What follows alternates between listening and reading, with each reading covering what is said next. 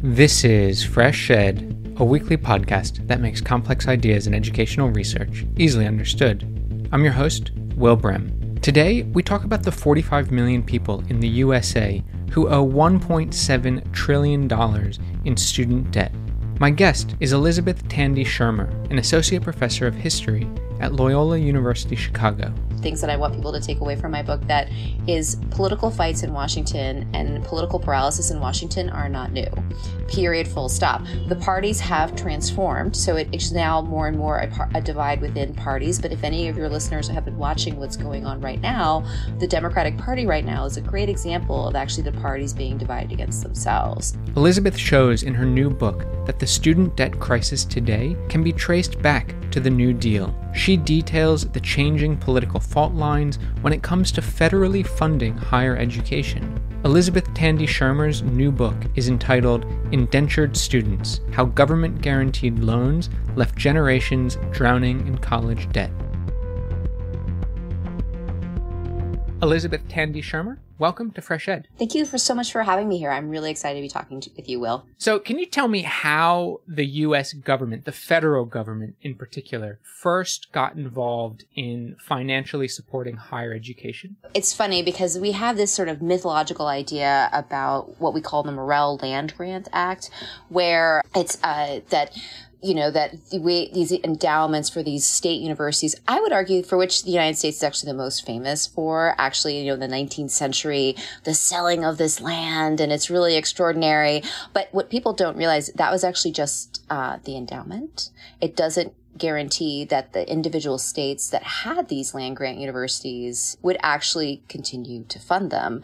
And I want to say here that actually there's extraordinary work actually coming out of a, a college at the University of, a scholar at the University of Cambridge History Department. We, they now call them land grab universities, where these lands were violently seized. Little of it was paid for and actually did not actually, that it's an extraordinary digital project where you can actually now map and see how that land was taken and also just how there's a lot less money than we thought was earned from it to set up the endowment for that. But that's really all that you have, with the exception of some research stations. It's very poor support until you actually get to the Great Depression and you have colleges and universities across the country on the precipice of bankruptcy. And the most important thing was the Roosevelt administration known as the New Dealers, the New Deal, had no interest in bailing them out. And what they did instead was offer this very complicated tuition assistance program called Work Study. And it seems very obvious is that you will work so that you could study. But the federal government paid students for work that they mostly did on campus that the campuses assigned to them. And it's just this incredible convoluted way again, my joke about the United States is you have to understand that we're gonna, if we're gonna do something, we're going to do it as complicated as possible, as complicated as possible to deal with the nightmare that is American federalism, that balance of powers. Why is it complicated in your mind? For me, the question is so the reason you pay students to work so that they could study is that they could therefore pay the tuition. And then also they would have the living expenses. They should also be able to pay their books. However, as the program actually worked in practice, most students actually didn't earn enough from their work study jobs in order to actually pay for all of that. Very few actually did. It still was incredible lifeline and students really seized and it's actually extraordinary what they did. But it would have been much more direct to just fund the colleges and universities so that you they would not have to rely on tuition. And therefore it would just had made things a lot less complicated, right? And actually recognize what people eventually recognized was that higher education, expanding higher education was actually good for the country and for uh, many different ways. And so again, what if we just fund this important institution, this what we're now recognizing as basic infrastructure so that Americans don't have to pay it out of comp- pocket because when you make things so complicated, Americans spend a lot of time paying out of pocket for basic needs like healthcare. Back when FDR and his team of New Dealers were designing this program, why didn't they just try and fund universities directly? Like, why come up with this complex system? There's a couple of reasons for that. One is, I think, a lot of surprising for people is that the academics, most academics didn't want it flat out. They were afraid of federal control. And they were just, this was, and this also goes back to the tradition had been in the United States that higher education, education in general, but higher education would be left to local governments, state governments, and then, of course, private organizations, including religious organizations. So this was seen at a moment in time when there is actually a dramatic expansion of federal power. This was terrifying to some. And if you think about academics, I mean, if you have philosophers, if you have political scientists, these are men, because it is mostly men at the time, who are deeply concerned about tradition and all of this other kind of stuff. And that's what was really terrifying to them. And also, I have to be honest, they were some of the Roosevelt administration's sharpest, most outspoken critics. So why would you directly fund your sharpest, most outspoken critics? And it, it takes a while, I need to admit, that for the New Dealers to recognize the many uses of the university. And that's actually an allusion to the very famous academic Clark Kerr, who transformed the entire University of California system. That they had many profound uses. And there is a broad shift over time in the Roosevelt administration to recognize that importance, but they're still hemmed to how can we figure out a way to do this that is within this American tradition of federalism? It's really more of a rebalancing of it. And also, there's a very profound sense that relief should come in the form of wages for work done, that you can't have this handout. And that's something that's so fundamental to it. It's why so much of our basic rights in the United States are tied to, it really does go back to this New Deal era, tied to your place in the formal economy. You don't get Social Security, you're not contributing to it unless you're in the formal economy. And it's a really dramatic issue. It, it sort of takes this position of morality right? It's moral to be working. And if you're not working, it's immoral. Absolutely. That there is something very profound about have we, re- that Protestant worth ethic that, you know, is usually so connected to the United States. You do see these examples from it. Absolutely. Absolutely. The other surprising thing about thinking of work study being proposed under FDR and some of the tensions that you discuss in your book quite in depth the political tension as they emerge. I had work study in in 2000s when I went to university and it's sort of like it's like oh my gosh like you know that system never went away. So it is killed. It is dramatically cl- killed in one of these political fights that I think one of the big things that I want people to take away from my book that is political fights in Washington and political paralysis in Washington are not new. Period full stop. The parties have transformed so it is now more and more a, par- a divide within parties but if any of your listeners have been watching what's going on right now, the Democratic Party right now is a great example of actually the parties being divided against themselves. But the but work study would then be revived, right, in the 1960s, and that would be the the program that you were in as well. And it is it it does fundamentally sort of harken back to this idea that there should be no such thing as a free ride. And they do have this sense that this is an American way of doing things, that you work your way. And they're contrasting themselves to Europe all the time all the time. That's where you get handouts. Here in America, we work for our basic rights and privileges. And that's something I think about all the time. FDR also had this program. I don't think it lasted that long called the National Youth Administration. How did that administration or that program envision supporting higher education? And was it different from the work study program? The National Youth Administration, the NYA. So work study is actually initially a tiny little experiment. And the thing that I always tell everyone is they have to remember is that the New Deal was not one thing. It's a lot of experimenting. Just try stuff just try, see what's going to happen.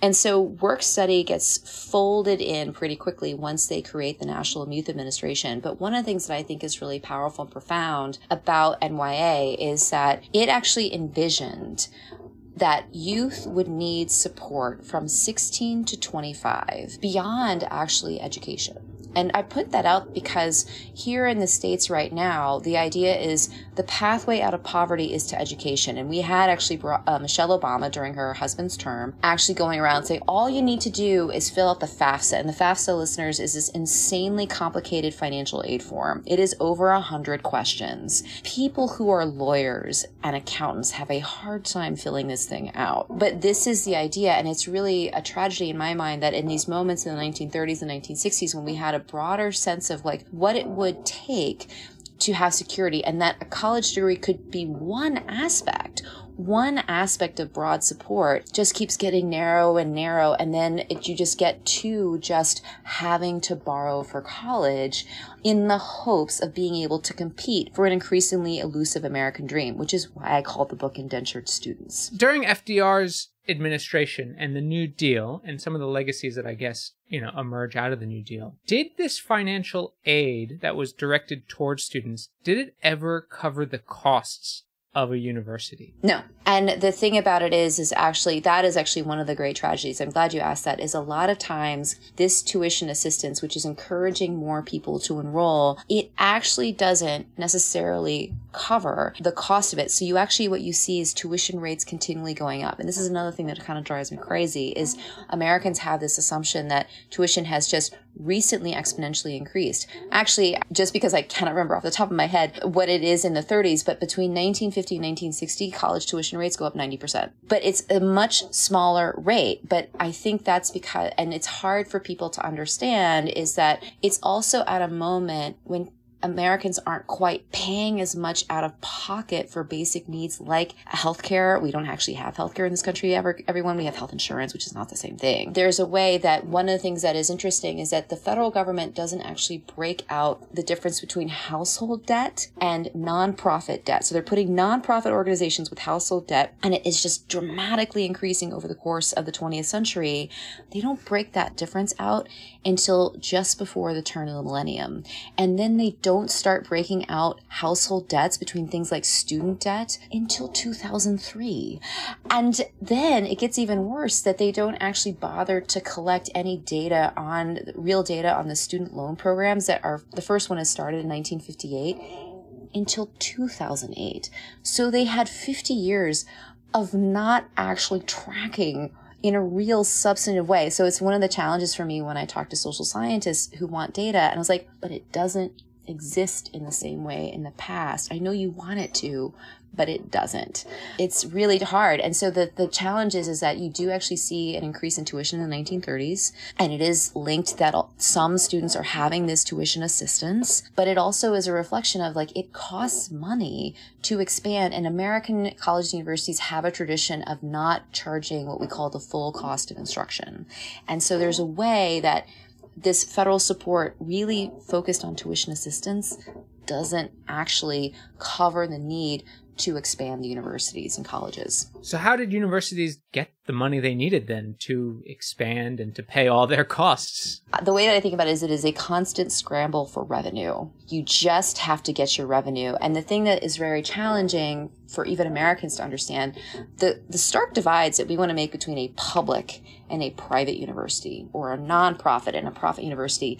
That's actually a kind of an early 20th century, maybe late 19th century construction. And it doesn't actually reflect the fact that colleges and universities have been scrambling to find revenue from the same mix of sources, students, state and local governments, and potentially federal, private business donations, don't private donations, to student revenue. It's all the same kind of mix, and people don't recognize that. And it, so it's why it's hard to make the distinction that people would want to make, particularly in the New Deal era. The New Deal era really sort of hammers that division home, even though it's doing it at a time when even state schools need donations. What's interesting is that in your book, you sort of show how, in a sense, crazy this public private system of student aid is.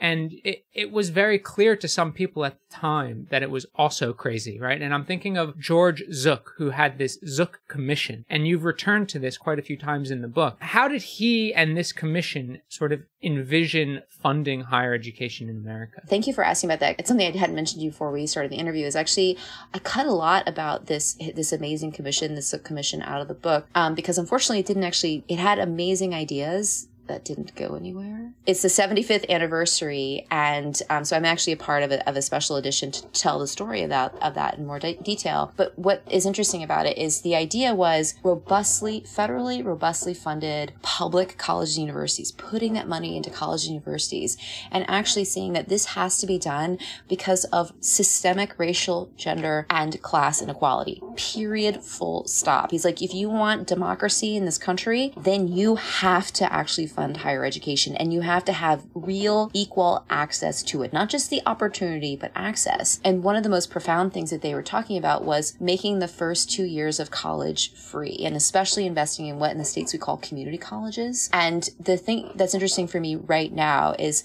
we are debating. So it is, we're talking in October of 2020 in this amazing infrastructure bill that who knows what's going to be in it that they're talking about right now is actually doing that, is actually making tuition, co- uh, uh, community colleges across the country tuition free. It's still not expanding the many number of it, but actually just reaching people at the community level for that first two years, which would in the States have the cost of instruction. But they also, with the Zook Commission, they also wanted to do scholarships as well, not loans, not loans. Because let's think about it. A student loan is the worst financial product ever. I'm going to give you a loan for something that I can't repossess. And if I could repossess it, I actually can't sell it to someone else. And if I take it away from you, you'll never be able to compete for the kind of job to pay me back. And your entire sort of worthiness of this loan, for me to make this loan, is contingent on an institution that is dependent on your tuition dollars. What a bad idea. And the new dealers recognize that.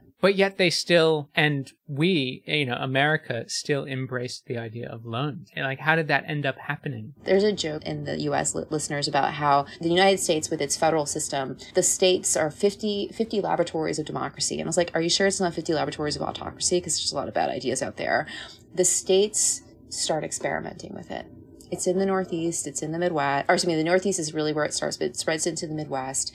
And it's state governments that do not want to invest in higher education with a lot of private colleges and universities who also don't want a public competitor. You know, if you have free, because this is the thing, if you, their private universities and colleges are terrified of the Zook report with the idea of free, low cost, quality education because it puts, it's, it's we it is a public competitor that's fun, fundamentally what it was and in the states and us um, listeners the that's what obamacare the the so-called public option that's what it was supposed to be it was supposed to be a low cost competitor and that's actually how the new dealers made it possible they had low cost utility competitor that brought rates down for electricity across the country because of the competition. And that was the idea. But so you have states experimenting with it, and then it is just at the last minute, and it's so heartbreaking.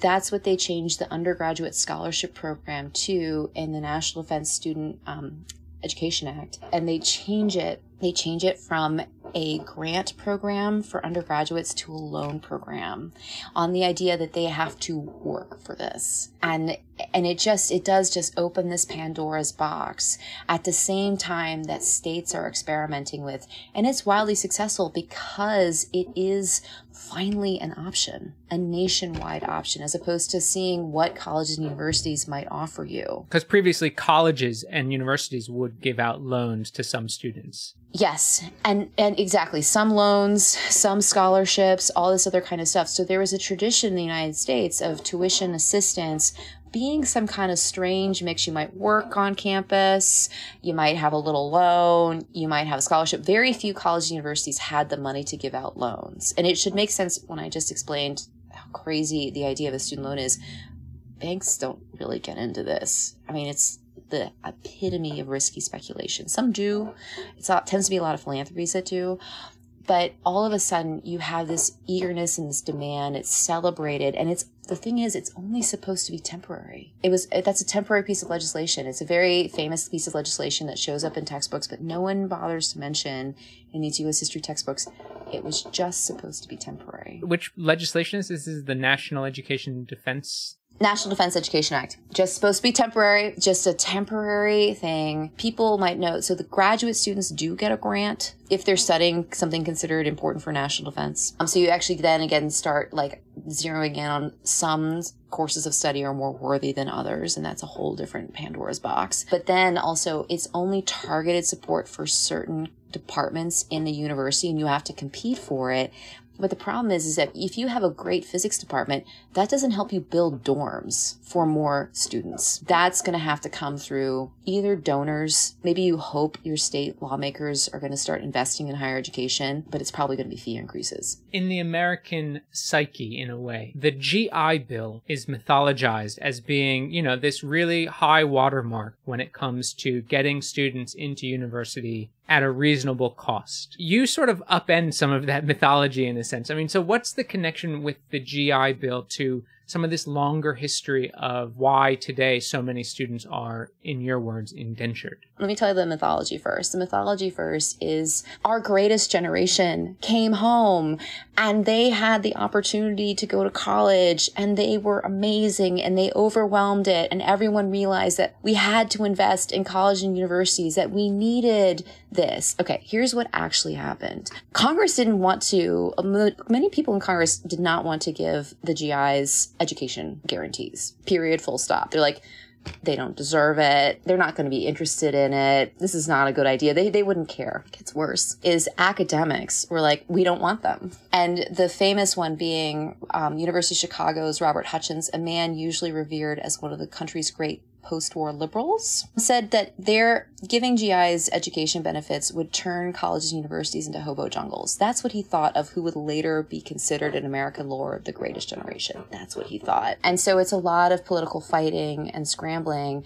And the terrifying thing is, is that it's true. It's amazing. 2.2 million GIs actually got their college degrees, but that's out of 11 million. And the way that the program was constructed was that it didn't actually, colleges and universities would get paid directly from the federal government for tuition and soldiers got subsistence checks. The subsistence checks were intentionally kept less than really to make it possible for a person to live off of. And the idea was like, we don't want them living high on the hog. These are people who've been through war. And so a lot of the times when if soldiers could get in because they have they completely overwhelm colleges and universities there's not enough space and it, particularly for soldiers of color particularly for women. And there's just not that if they get in, the main reason that GIs would drop out was because their subsistence checks didn't um, arrive on time. Colleges and universities got paid on time. Soldiers did not. And they could not afford to stay in school. And it really is this sort of heartbreaking story.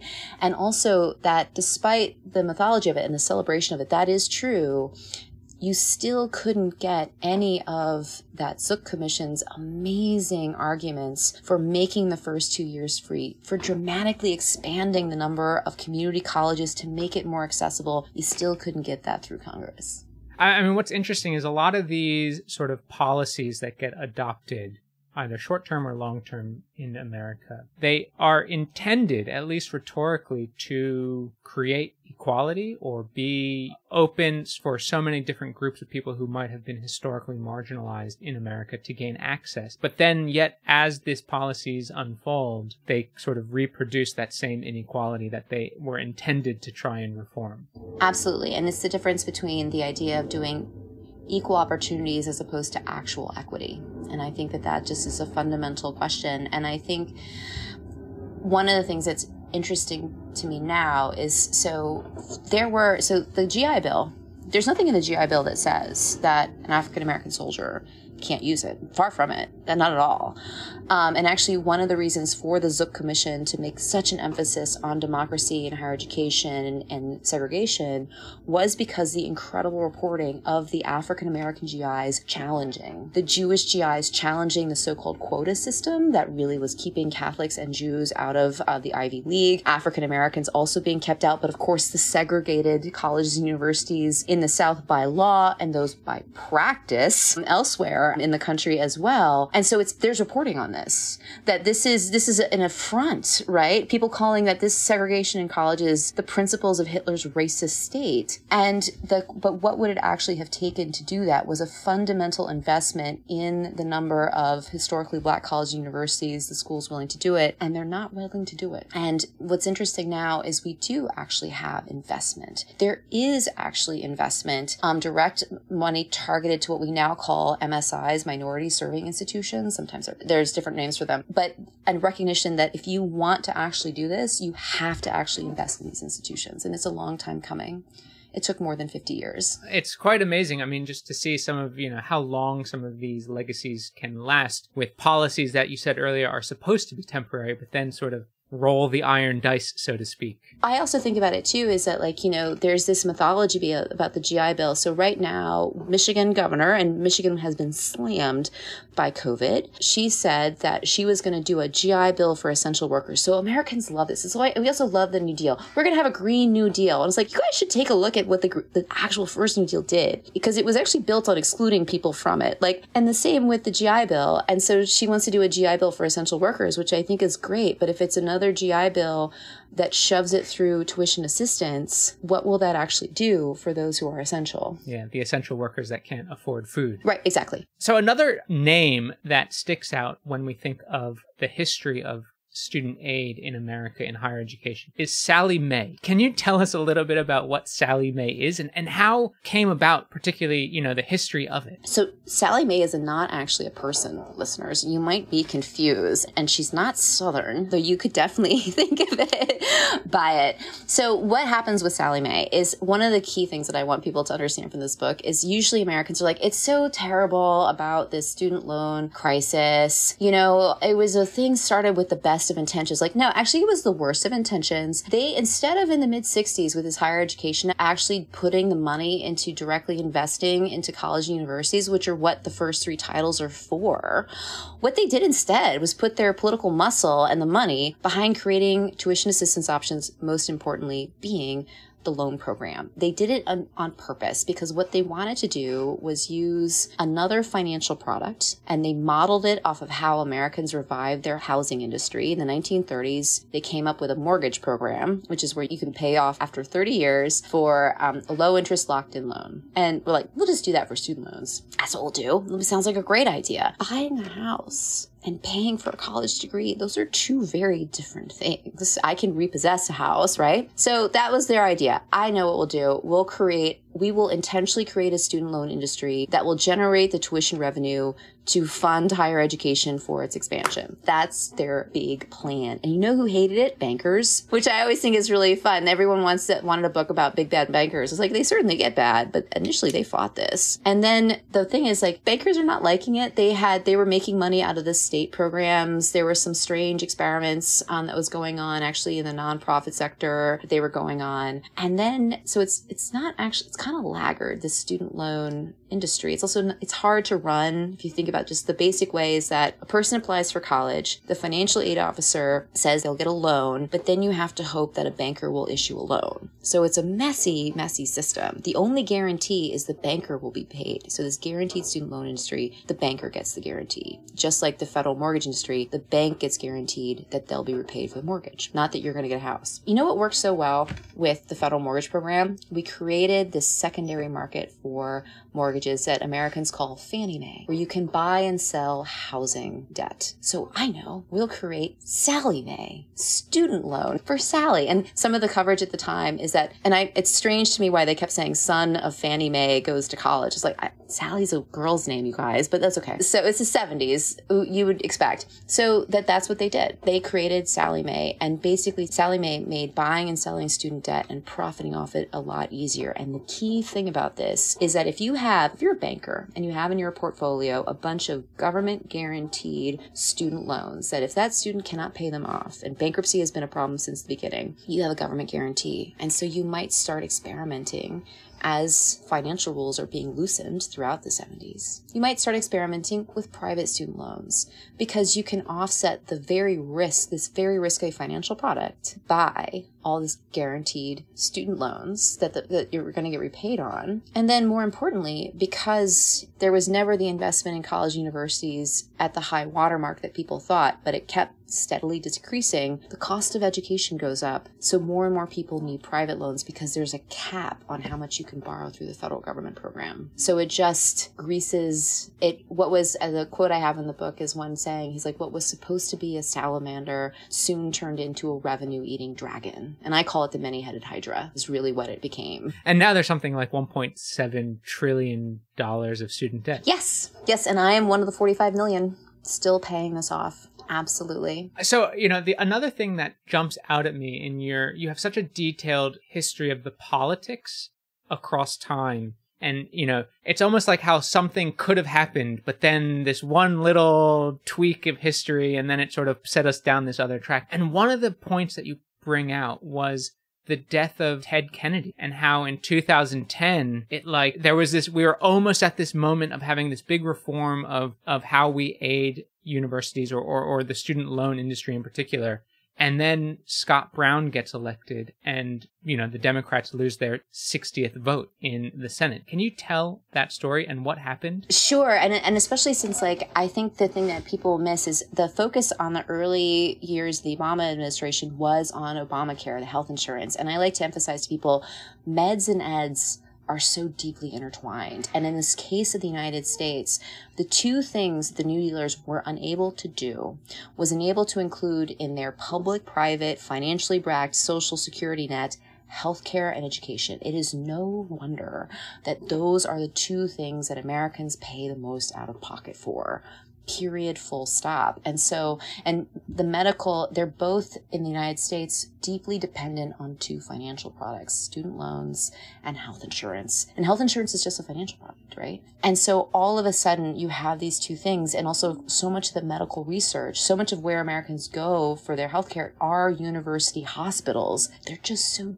deeply intertwined. And so, actually, a big thing that Obama was pushing for in 2008 and on the campaign trail was not just Obamacare, it was not just the Iraq and Afghanistan wars, but student loans. And he and his wife are talking about how they had just paid off their student loans just a couple of years before they're actually running. And the hope was to get the two things done before our midterm elections. And listeners, if you don't know American politics, you basically have 18 months when you're first elected president to try and do anything. That was the hope. And then it was a crushing blow for both Obamacare as well as the student loan reform because it is a war on Capitol Hill on both crushing blow when Ted Kennedy passed away. And then you have to go through basically, honestly, listeners, the only way that anything gets passed in the United States right now is through budget reconciliation. And we just have been limping from budget reconciliation to budget reconciliation because the federal system, the power of the Senate, the gerrymandering in the House, it's just a nightmare. Everything hinges on getting the votes done, and it just becomes a way to, through budget reconciliation, to kill the original guaranteed student loan program so that loans come now, the federal loans come now just directly from the federal government. And he did it, and Obama celebrates. It's really very moving killing two birds with one stone in one week. And everyone forgets that when he signed the law that actually enacted Obamacare, he did it at a community college. It's actually where Jill, uh, First Lady Jill Biden, Dr. Jill Biden, that's where she actually teaches. She's there. He goes there and he signs the two of them into law and celebrates the two as deeply intertwined. But the hope was that it could have been so much more. And especially one of the great tragedies is that it didn't wipe out any of the debt incurred from those guaranteed student loans. And then the banks that had grown huge and massive and fat on the guaranteed student loans, they now service those loans for the federal government. Making a fee. Oh yeah, everyone's always making a fee. Always making a fee. And that's exactly that has what that that's what's kept them going. And I will say one of the things that we're watching right now is a lot of these loan servicers. There's more than 8 of them they're now saying they're not going to do it anymore. And it's this incredible moment where we're watching that is what are the possibilities? What does this mean? Especially as the Biden administration, we were floored, did a dramatic shift in you can get some of your loans forgiven for working in the public sector for 10 years. So all of a sudden, it was an incredibly convoluted program, which basically helped no one the way that it was written, the way that it was enforced. And now all of a sudden, we might have our debt erased. And it is startling to see it happening. Do you think America would ever embrace direct funding to universities rather than going through this convoluted route of student aid? That's a great question. And the the issue that's I think is really interesting about it is like the big thing, the tagline right now is cancel student debt. That is what the pressure is on the Biden administration, not just from progressive Democrats. Less well, less talked about is what's called the College for All Act, which would basically create these public competitors. But I think what's interesting in terms of your question, it's a great question is there is something there because most Americans don't know how stuff is paid for. I'm just putting that out there. It's, it's, just a statement of fact. And as opposed to one of the things I used to, I was very lucky. I used to live in the UK. I loved it for two years. That the British had a way of talking about they understood that their taxes went to something that Americans don't. But there's some recognition now that with this community college paying for that, that this federal support for the community colleges could mean something. So it might happen. I'm not sure. And it is a gradual shift in people not being able to shoulder the debt and being more outspoken about it. So we shall see, you know, in terms of recognizing what is worth the government's investment. Elizabeth Tandy Shermer, thank you so much for joining Fresh Ed. It really was a pleasure to talk today. Yes, thank you for inviting me. I'm really excited that, to have this chance to talk about so many important issues.